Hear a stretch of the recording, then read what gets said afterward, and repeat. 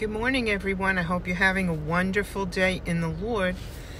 I'm back again today because um, there's a little bit more that I wanted to say after yesterday's video about the hidden manna.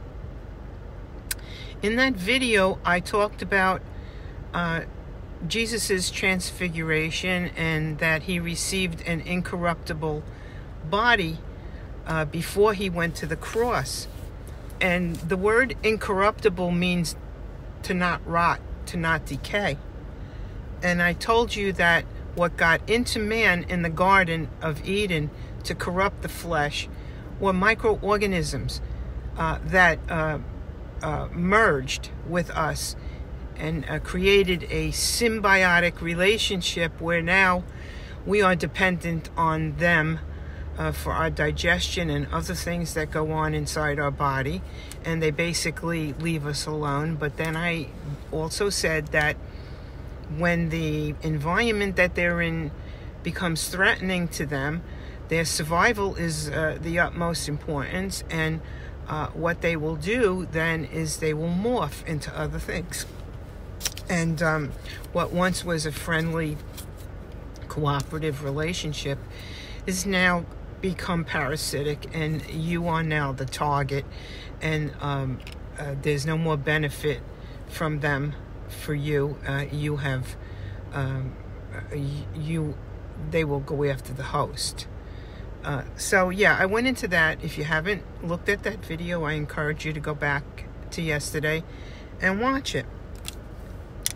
So Yes, I also talked about that the garden and when God said, Don't eat of that tree, don't even touch it, or you will surely die. And I showed you that uh, what can grow on the tree, on the bark of the tree, even on the fruit sometimes, is mold. And uh, when you touch mold, it uh, immediately shoots its spores, invisible spores, up into the air. And um, they're toxic. You breathe them in, and once you get them inside your body, they uh, it's a it's a, a warm, dark, moist place inside your body, just like it is in the soil. Um, and um, they they start to propagate. They start to replicate. They find a place where they can flourish and grow.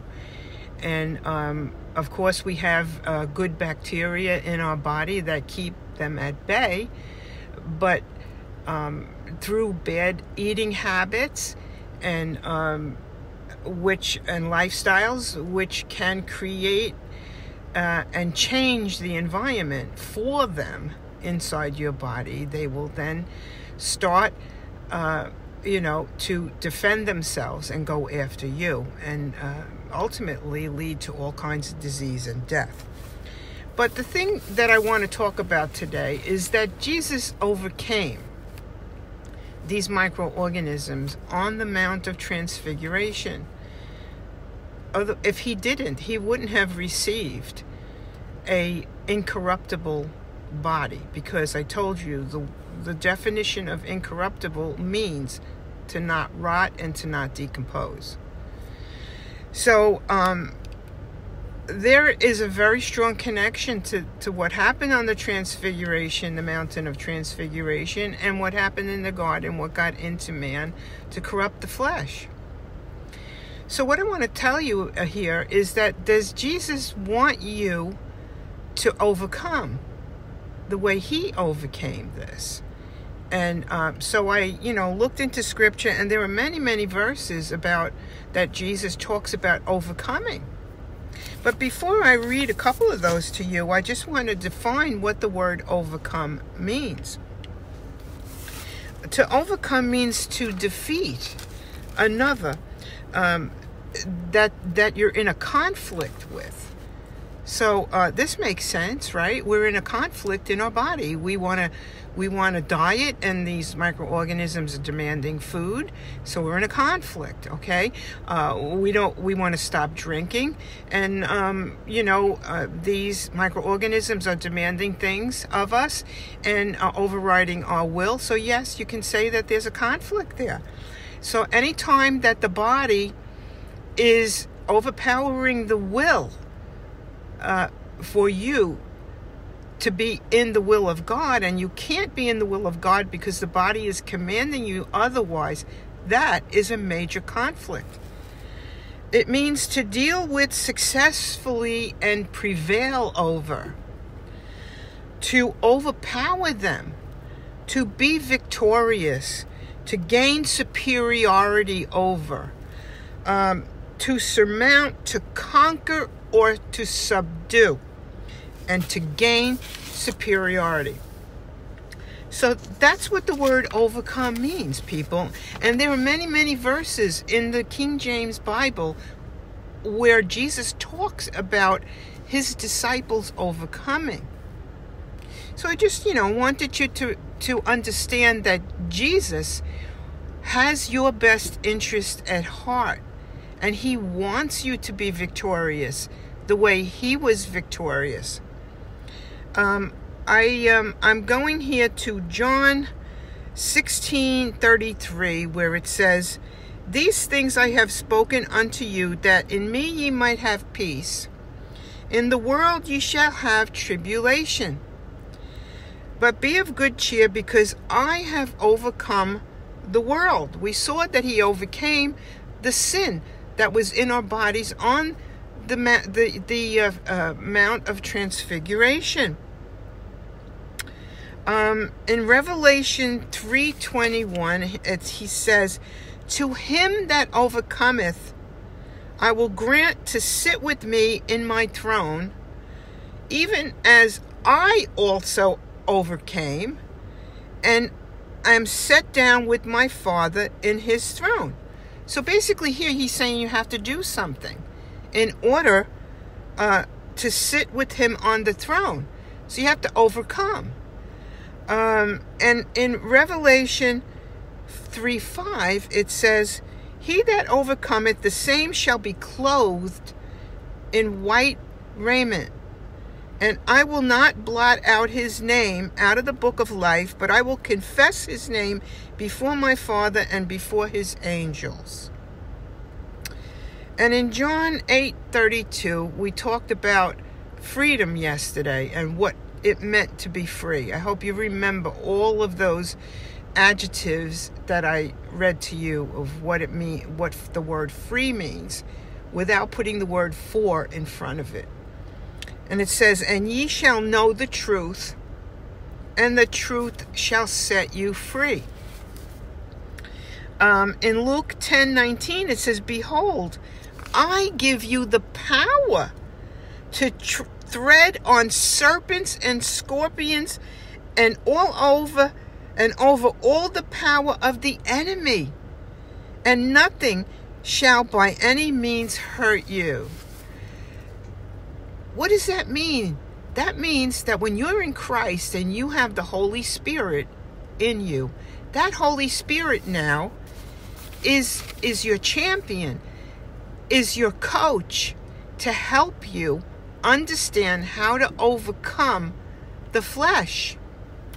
It says here in Revelation 2:17, he that hath an ear let him hear what the Spirit saith unto the churches. To him that overcometh, I will give to eat of the hidden manna. And what was the title of my video yesterday? Hidden manna. And will give him a white stone, and in the stone a new name written, which no man knoweth, uh, saving he that receiveth. Saving he that receiveth. Okay? Now, this might not be a salvation issue, but this is certainly an issue of transformation, and especially in the times that we're living in now. Uh, I feel a very strong demand on the Holy Spirit's part to get me where the Holy Spirit wants me to be. And a lot of times my own will gets in the way of the Holy Spirit's will. And you see, uh, those of you have that have been following me for some time now know that the Holy Spirit has removed many things from my diet and has removed medicines and drugs that the doctors have prescribed to me.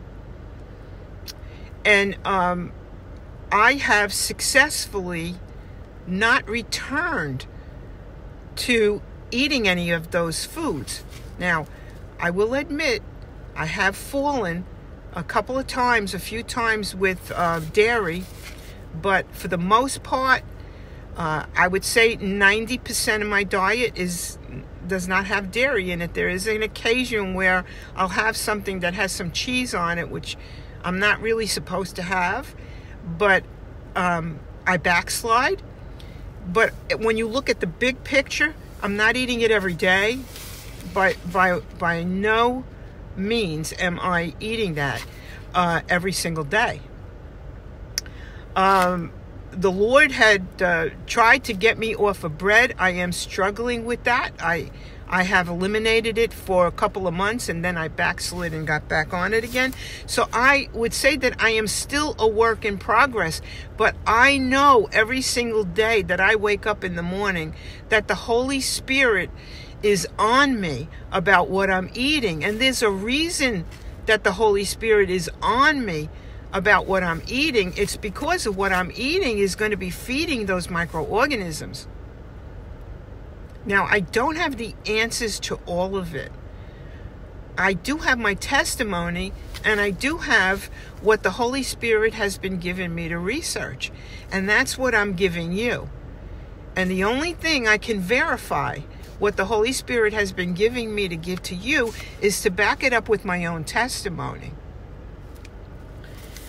So you see here that um, that the Lord does want uh, people to overcome, and I think this is more prevalent now in the times that we're living in, because the Lord is is it's written that He's going to pour out His glory on people, but you can't make that connection to heaven like Jesus did on the Mount of Transfiguration unless you can overcome.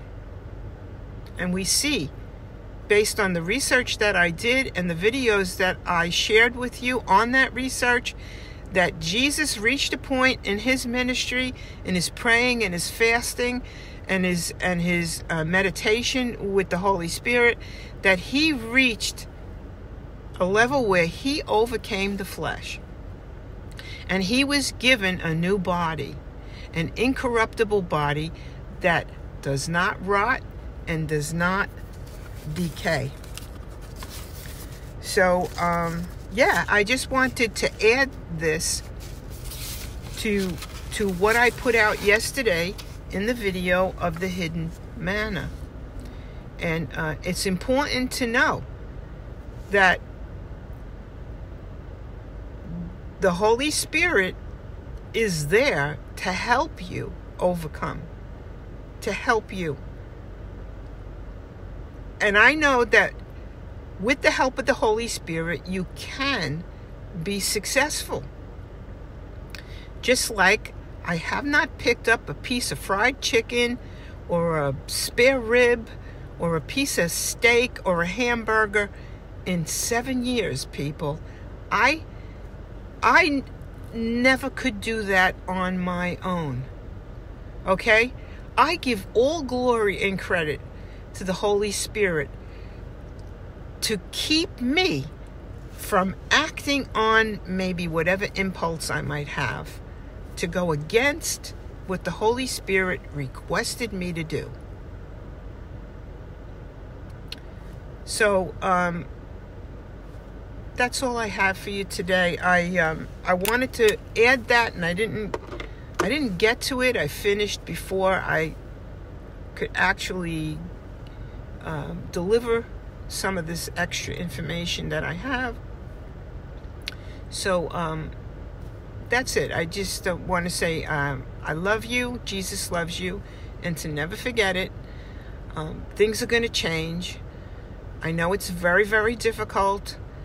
Um, my walk with the Lord is as close as I am to, to Jesus and the Holy Spirit. I struggle. I struggle every single day when I get up in the morning. I, I have pains in my body, Even though my blood work comes out excellent and pristine and flawless, I still get pains in my body that I don't know where it's coming from. I don't know if it's persecution. Um, I don't know if I'm being punished from actually uh, advancing in the spirit. You know, um, you do when when you do go up a level, you do get punished from the devil for it. When you speak the truth, you do get punished for it. When you go against the authority of the world, you do get punished for it. And some of these punishments are part of the trials that you have to walk through in order to overcome. And it's hard. It really, really is hard.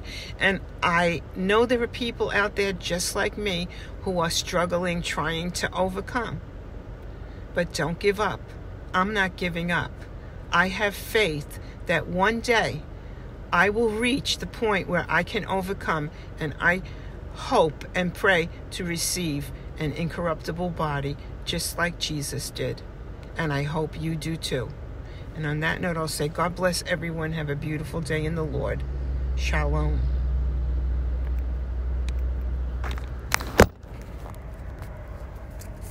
Shalom, shalom.